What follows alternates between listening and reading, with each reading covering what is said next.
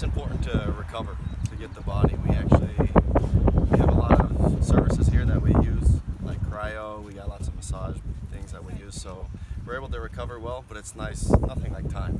Time off is, is much needed at this point. Before you get there, you've got a pretty big game tomorrow. How do you kind of switch gears from the regular run of the season to uh, a knockout game, essentially? Yeah, well, Open Cups it's more fun, I guess, in a sense that survive in advance in a, in a way. So we got to go out, we got to perform. If it takes 90 minutes, perfect. If we go to overtime penalties, we got to do what we got to do. So survive in advance.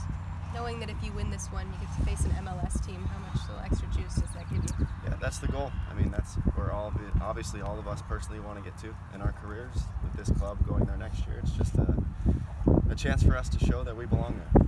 How great an opportunity is it to be able to face an MLS team knowing that 2020, here comes one to Nashville? Yeah, I mean, it's a chance for all of us to prove ourselves individually. We're all, a couple guys are signed already for next year, but a lot of us aren't.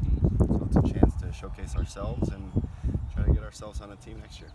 What do you remember about the previous game against Charleston? Obviously, it was a regular season game, but they, they took you guys down 3 to 1. What do you remember from that one? Yeah, I mean, they were very sound defensively. It was at their home, so they kind of, I think they'll play a little bit differently now that it's at our place.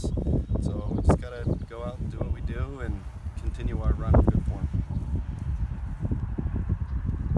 Anything else? All right. Thank you. Appreciate Thank it. you. Thank you. Playing that one.